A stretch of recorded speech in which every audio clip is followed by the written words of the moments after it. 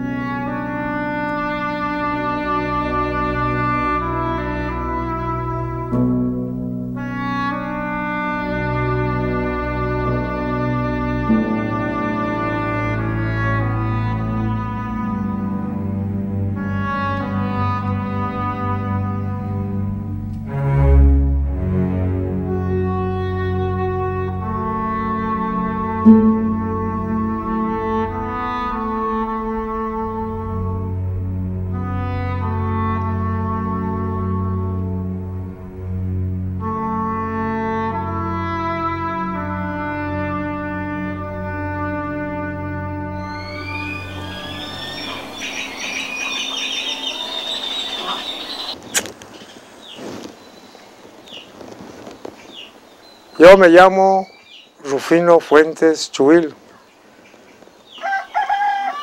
Vine en Yaxcopoel en 1938. Si llegabas a ir en el cerro ese alto, verías toda la circunferencia de Yaxcopoel, verías el puro Enequén, se ve como agua verde, se ve todo el Enequén. Usted sabía sabía de que el Enequén se le llamaba el oro verde, esas épocas. De antes se hacían las cosas que yo iba a cortar, cortar yo cuatro mil, cinco mil hojas de Enequén diarios. Cuando llego a la semana tengo 25 mil, 30 mil hojas de Enequén cortadas. A cinco pesos se pagaba. Pues teníamos unos centavos y en esa época no está caro las cosas como está ahorita pues vivíamos re bien. Pero los cambios que vino y se fue para arriba todos los, los precios, pues ahora vemos que está un poco duro la vida. Era bastante, bastante, bastante gente. Trabajaba lo menos, lo menos dos mil personas o algo más acá. Mucho trabajo, mucho trabajo. Y el corte de Nequén, el Nequén se corta de una manera. Cada mata se le a veces se ordena que cada, cada mata le tienen que quitar tres hojas, cada mata. Aunque tenga muchas hojas, solo tienes que quitarle tres. Tres hojas por mata. Muchas veces dicen, le dicen dos vueltas hay que darle a la mata de que tienes que quitarle cinco, seis para redondear lo que es la mata. Que quede la matita paradita, así queda bonito que son cinco o seis hojas que hay que quitarle. Son dos clases de, de, corte que hay. Se veía muy bonito. Entonces de esto se acabó en el Equenero de Yucatán, entró el Banco Agrario. Entonces el Banco Agrario es el que arruinó todo lo que es el Enequén, porque pagaba trabajo sin hacer corte de nequén, a veces llega hasta un millón que deben, un millón de hojas de nequén que deben. Los ejidatarios nunca se les exige que lo corten. Los chapeos lo mismo, quedaban, los chapeos se quedaron monte, los plantillos de nequén. Desde esto, que fue una cosa muy, muy grave en ver que en actual no hay qué, ya todo es monte.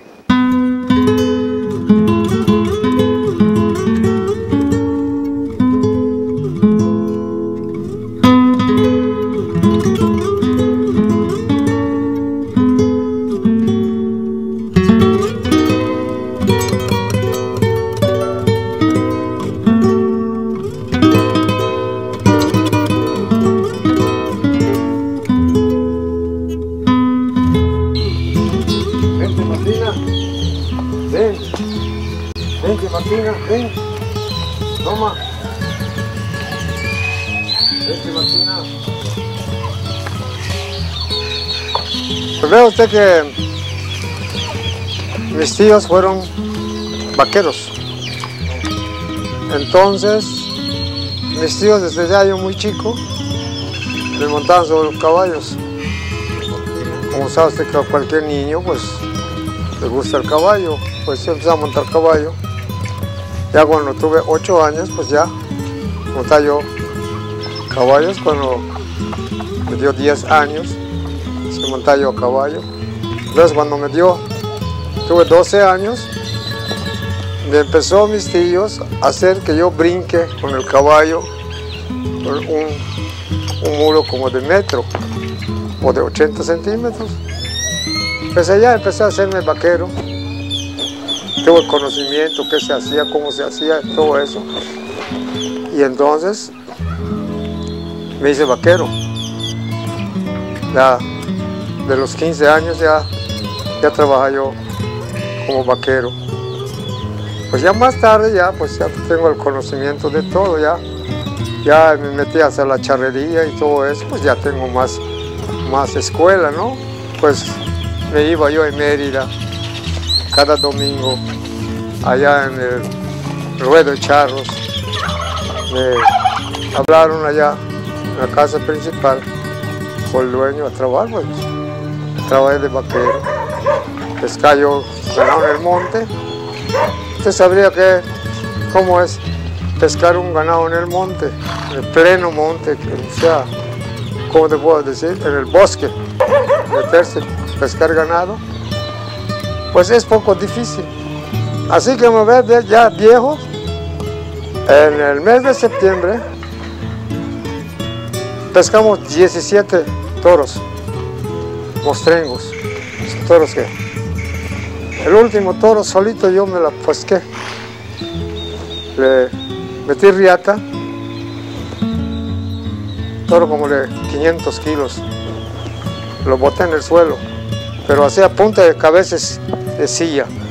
Me metía yo la, soga y la ahorcaba yo al toro porque la, la lacé en el garguelo. No, no, no tenía tarro, un golpol que no tenía tarro, como este animal, no tiene tarro. Pues ahí lo lacé y como muy arisco, se ahorcaba solo, se ahorcaba solo y yo lo iba aguantando y no le soltaba yo la riata, no le soltaba yo la riata, hasta que se ahogó y se cayó. Y con la misma barré la riata la cabeza de la silla de mi caballo me bajé, le amarré los pies, ya estaba en el suelo, barré los pies, le barré los brazos y le, llamamos mochkash, le hacemos así. Entonces, allá, y vine a avisar que lo vayan a buscar, y lo fueron a buscar.